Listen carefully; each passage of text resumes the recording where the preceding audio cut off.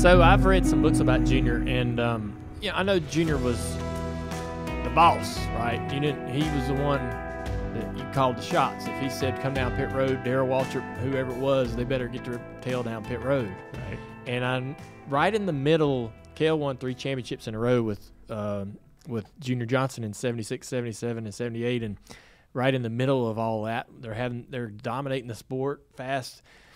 Cale didn't do something, or Cale said something about the car, and Junior in quotes in the media after the race is like he can go drive somebody else's car. he can talk. He he can, he gonna stop talking about my car like that and go. That's the way he was. That's the way he was, and he he was a you know he was the guy, right? He Yeah. was a legend, and um, it was his way or the highway. And when my dad left there, you know, 74, 75, by, we lived there for four years, and my mom finally looked at my dad and said, "Look, here's the deal. You can live here as, and work here as long as you want. I'm going back to Charlotte, where I'm from." And so it didn't take long for him to, to leave. But when he left, Junior never talked to him from that moment until the end of his career. Man, Uh, Wait, out of spite? That's the way you were with him or against him.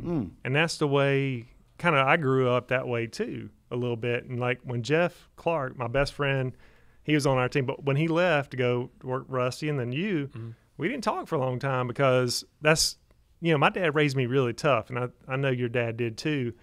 And I think he did that because he knew how hard this is, you know, har- how hard it is to, Yeah. to, to have a place here in this sport and, and earn it. But um, but that's the way Junior was, man. You were with him or against him. He never talked to him. And my he, my Junior was my dad's hero. Even through all that, he really really looked up to him. And later, after my dad retired after a 2007 season, he he got a farm up there, a ranch up in North Wilkesboro, 600 acres, and um, had a still on it. It was really cool. and, and uh, he, but that was kind of because he had such fond memories of living there and and uh, all those things. And and Junior was one of his heroes. so they figured they eventually got to communicating.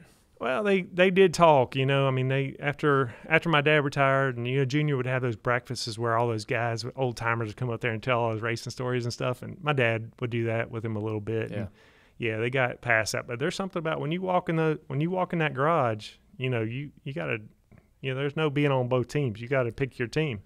so, so how old were you were you, when you were in Junior's shop? Like you're talking about six, seven, eight? Yeah, five, six, seven Okay. years old. Do you ever recall having conversations with Junior Johnson? Because it sounds like he doesn't talk to Bobby, and that's his driver.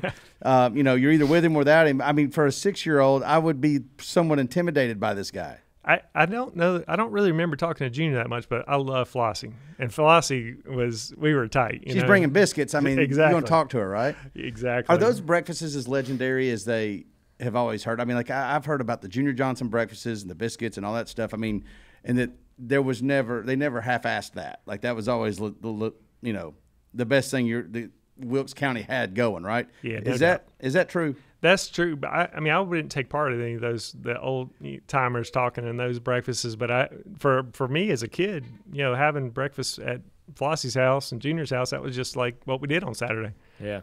And now looking back, it's like, wow, that's that's cool. And and one of the things, I, my time in the sport, I just love that the time that I grew up in the sport from where it was to where it is today. I, I just think it's awesome. You experienced a lot of different layers.